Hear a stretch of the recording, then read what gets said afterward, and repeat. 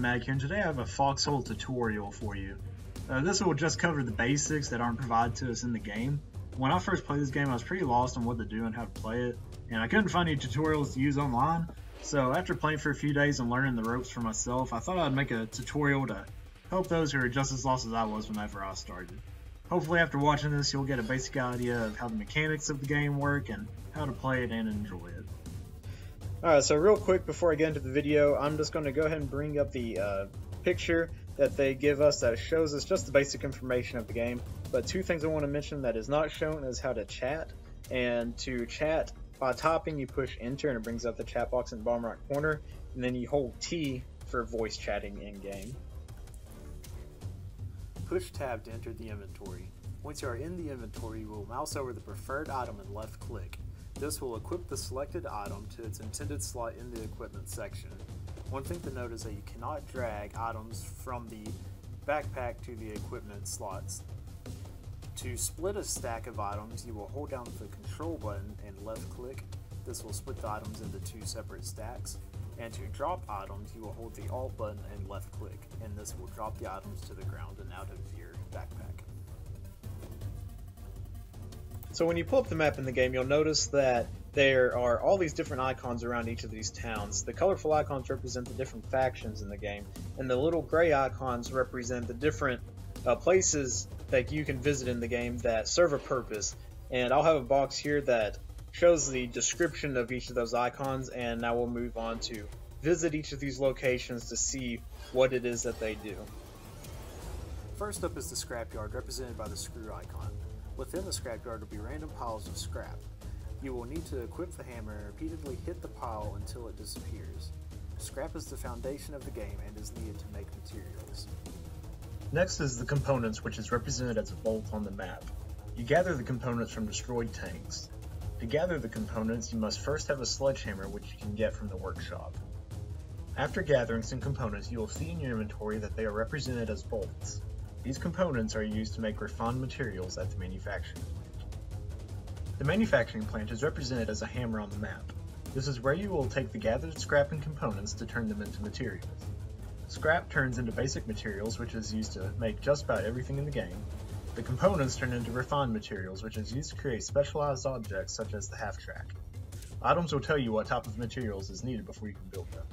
The basic materials is represented as beams, while the refined materials is represented as a bundle of pipes in the inventory. The next location to go is the armory, which is represented as a rifle on the map. You will walk to the armory and push E to enter into its inventory. You will then need to deposit what materials that you have. On the right side, you will notice all the different weapon options that you have to choose from. Weapons are built in stacks, meaning that you must put the weapons together before you can use them. The stacking helps with transporting weapons because you can carry multiple weapons in a single stack.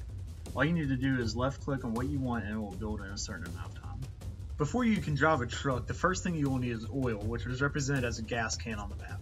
To collect the oil, you simply equip your hammer and then left click repeatedly on one of the four oil barrels until you have as much as you need. With both materials and oil, you are now ready to build a vehicle. You will need to go to the motor pool, which is represented as a truck on the map. Here you will need to push the E button to enter the inventory and place material inside. You have three options of things to build. The first is the truck, which has low health but is useful for delivering supplies and troops to the front.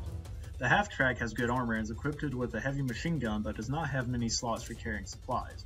The last is an artillery piece. It does not require oil but it takes two people to operate. To enter your vehicle once built you will push the Q key.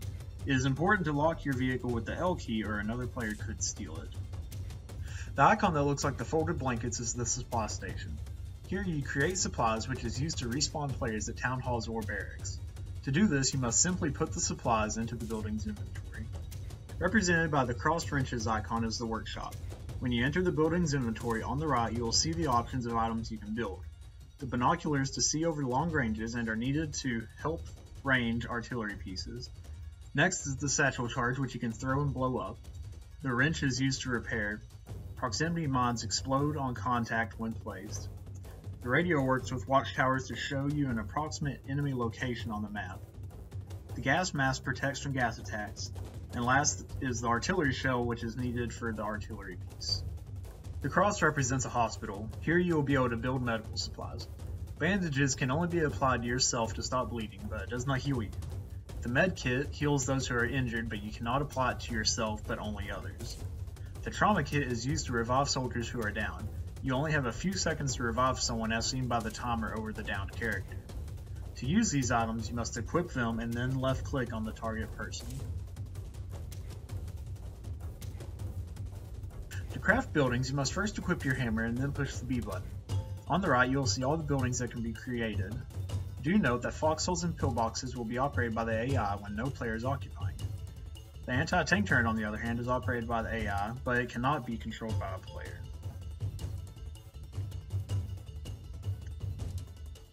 When you die, if you haven't set your spawn point at a town hall or barracks, or the building ran out of supplies, you will be prompted to respawn in the wild. This will spawn you at any random location throughout the map. To pull up the player list, push the F1 key. This will show you all the players on the server and what faction they are part of. Here you'll be able to see what your current level and rank is. You go up in rank by getting commended by other players. To commend a player, you go to their name and click the up arrow. The down arrow will decommend them. You only have a certain number of commendations. When you reach a high enough rank, you'll be able to start your own coalition with other players.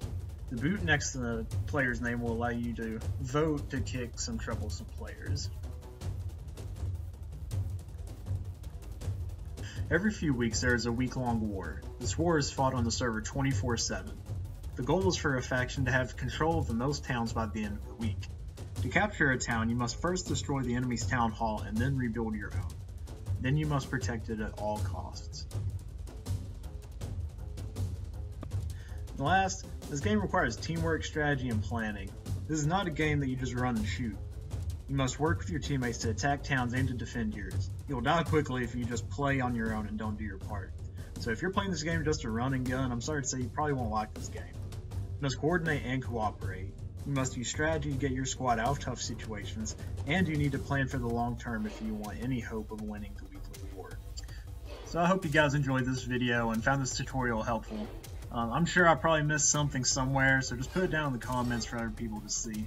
Uh, thank you guys for watching, and be sure to check out my other Foxhole videos. Uh, be sure to give this a like and a subscribe, and I'll see you guys next time.